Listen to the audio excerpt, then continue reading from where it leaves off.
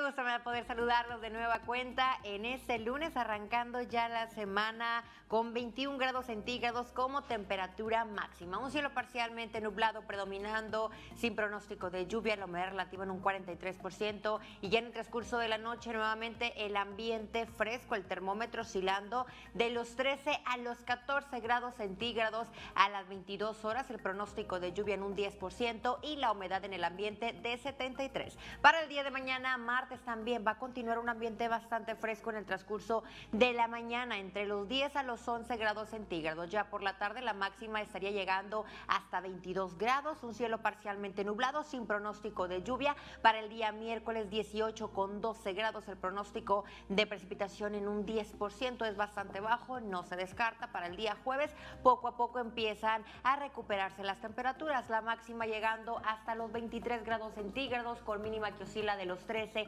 a los 14 grados Celsius. Y para el día viernes iniciamos el fin de semana ya con mejores temperaturas, 28 a 29 grados centígrados como máxima, la mínima de 14 a 15 grados Celsius, el pronóstico de lluvia en un 20% y para el día sábado un cielo completamente despejado y las temperaturas por la tarde estarían superando los 30 grados centígrados con sensación térmica hasta de 33 y una mínima de 17 a 18 grados Celsius sin pronóstico de lluvia. Le comento lo más relevante que está sucediendo a nivel nacional. El sistema frontal número 31 de la temporada ya se desplaza lentamente desde el sureste a la península de Yucatán. Esto mismo estaría generando probabilidad de lluvia en los próximos días, pero muy ligeramente. Las temperaturas por la tarde van a continuar muy agradables. 23 a 28 grados centígrados con mínimas que oscilan de los 17 a los 20 grados Celsius allá para Tijuana, la temperatura máxima alcanzando los 24 grados centígrados con mínima de 10 grados.